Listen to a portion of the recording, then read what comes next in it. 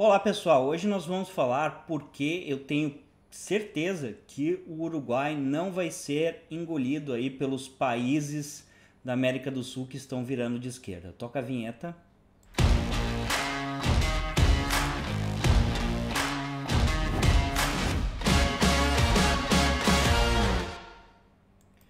Olá pessoal, meu nome é Carlos Schreier, mais conhecido como Brasileiro Sem Fronteiras. Aqui nós falamos sobre internacionalização, tudo que tem a ver com segunda cidadania, segunda residência legal, residência fiscal, abertura de empresas offshore, contas bancárias no exterior, investimentos no exterior, seja financeiro ou seja imóveis e por aí vai.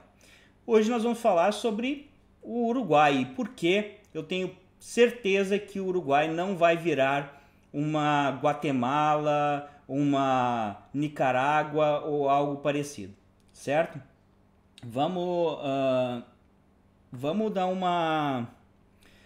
Vou dividir a minha tela aqui com vocês e eu, eu vou dar um, uma palhinha aqui do nosso curso, tá? Vida sem impostos que vocês podem adquirir é, até o final do ano com preço promocional, tá? De 31 de, de, de dezembro, ainda vou manter esse preço.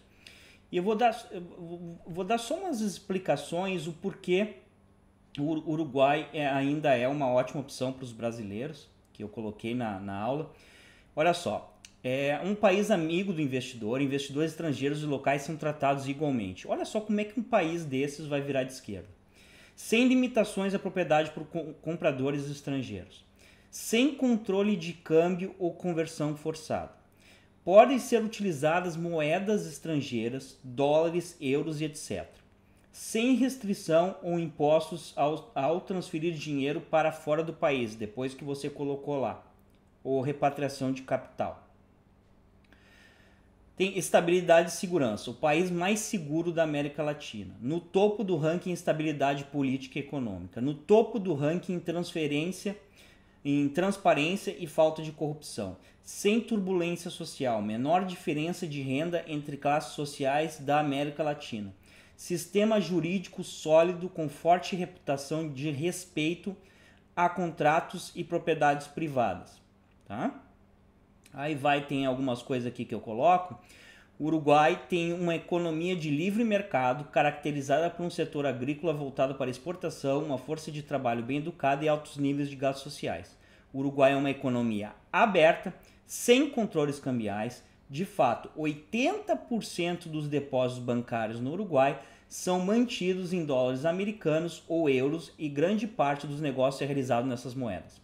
O país é um centro financeiro e logístico regional. As zonas francas de comércio livre de impostos do Uruguai atraem sedes regionais e globais dos grandes multinacionais.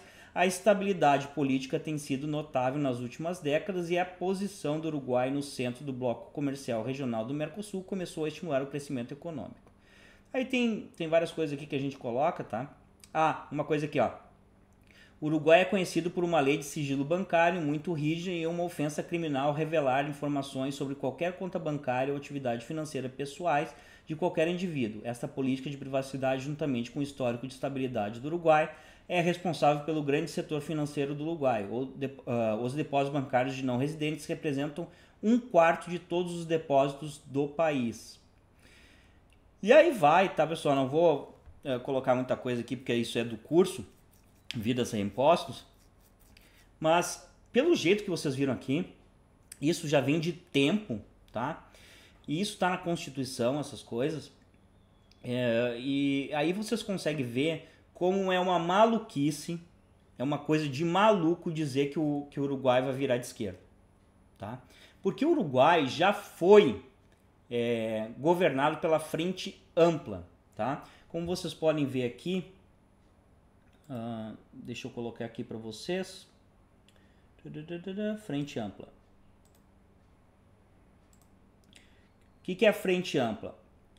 É uma coalizão eleitoral artiguista, populista democrática, anti-oligarca, anti-imperialista, anti-racista, anti-patriarcal, centro-esquerda, de esquerda do Uruguai.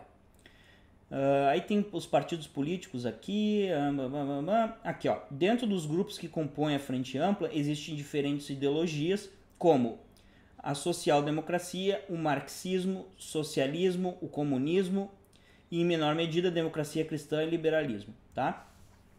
Então, é, aí eles falam que, bem como alianças frente ao espaço interno, essa for força política promove, por sua vez, um modelo de estado de bem social, de bem-estar social, e por meio de seus legisladores, a frente reconhece o direito à morte digna, ao aborto, à união civil e à adoção uh, por pessoas do mesmo sexo e a mudança do nome dos documentos de transexuais. É isso que eles fazem, pessoal.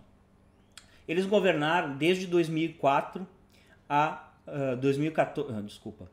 Eles governaram desde 2000 e isso, é, desde foi de 2004, isso foi desde 2004 a 2020, tá?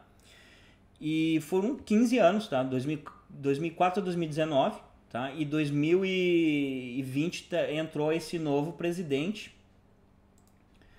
uh, o Luiz Alberto Lacoupou, que é do Partido uh, Conservador, que é o Partido Nacional que veio do Partido Blanco.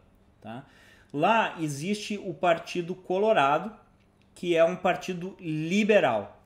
E antes eram era bipartidos, né? É, era o Partido Blanco, Partido Nacional e o Partido Colorado. O Partido Colorado que governou mais tempo o Uruguai, por isso que o Uruguai tem essa cultura liberal, tá? E o Partido Conservador é o partido mais agrícola que está agora no poder, que ele governou menos tempo. E a Frente Ampla governou os últimos 15 anos. A Frente Ampla não mudou absolutamente nada no Uruguai.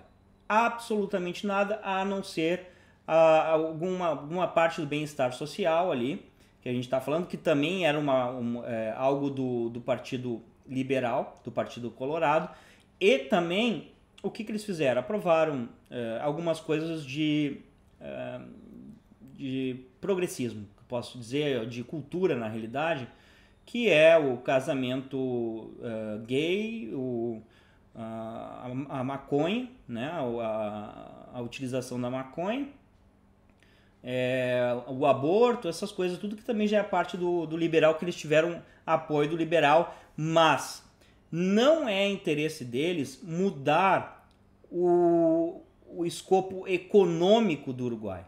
Não é.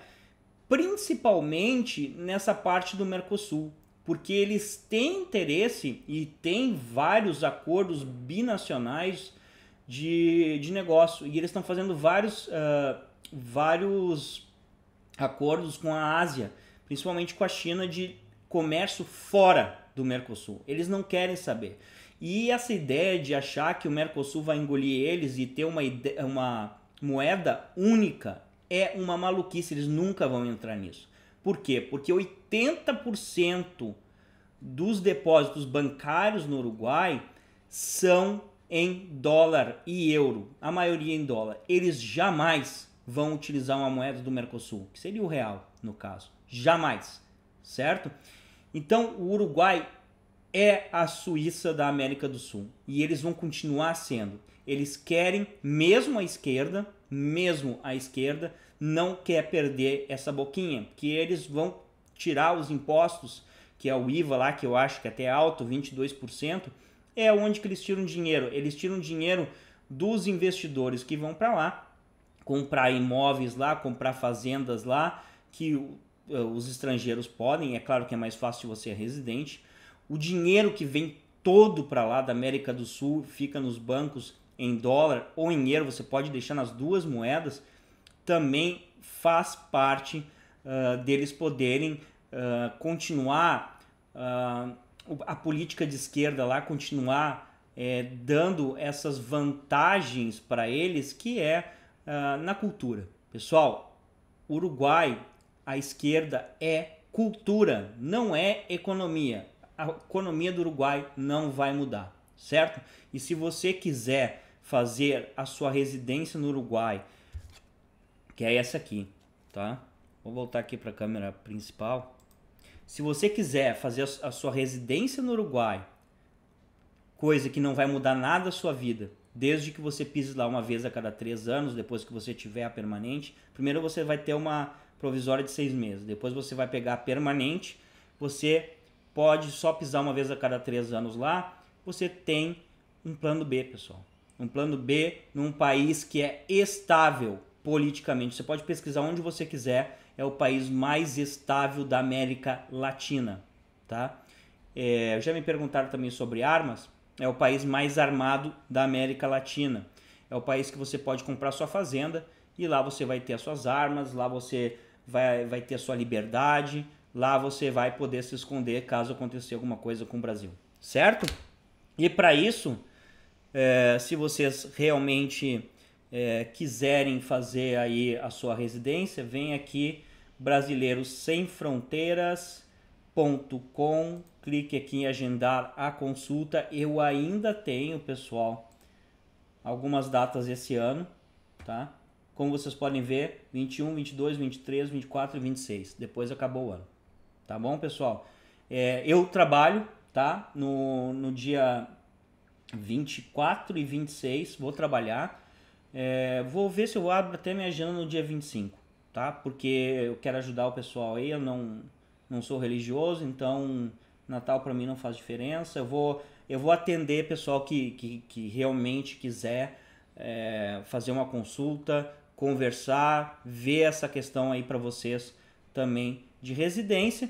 E lembrando, nós temos o curso que, como vocês viram ali no, no naquele slide no começo lá, vocês vão aprender. Já soltei a aula do Uruguai lá, soltei a aula do Panamá.